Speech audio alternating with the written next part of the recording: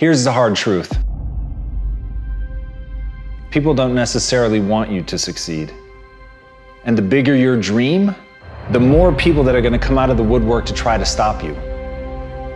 As Oliver Emberton said, the only way to avoid pissing people off is to do nothing important. But if you're striving for something important, if you're trying to make real change, if there's something in your life that you are absolutely hell bent to make happen, you have got to understand that you're going to be fighting against something. People are going to be pushing back against you, and it is going to be your ability to hold true to that vision that's going to determine whether you can pull it off. And as Victor Hugo said, you have enemies? Good. It means you stood up for something at some point in your life. And that's what people miss. They somehow want to get through this unscathed. They somehow hope that with this grand change that they want to make, that people just fall in love, that they see your vision, that they fall in line behind you, and that they want you to lead them. That's not the way that people work.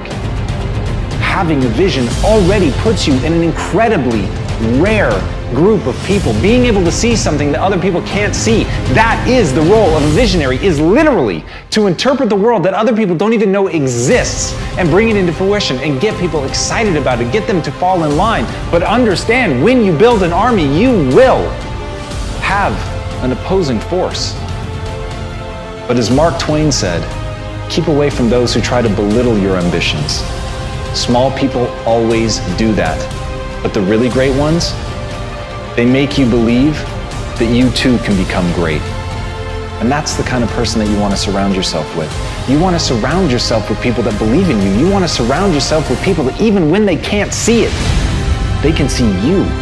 Even when they don't understand what you're trying to build, they believe in you and they're willing to get in line and they're willing to meet that opposing force. And when you're able to galvanize people around your idea and push it forward and paint for them the world not as it is, but as it could be, that's when you can make change. But you can't be afraid to piss people off. You have to know that they're coming for you and you have to be willing to fight. Because if you're not willing to fight, you might as well sit down now. So if you're going to be one of the few that stands up, you've got to stand up prepared for war.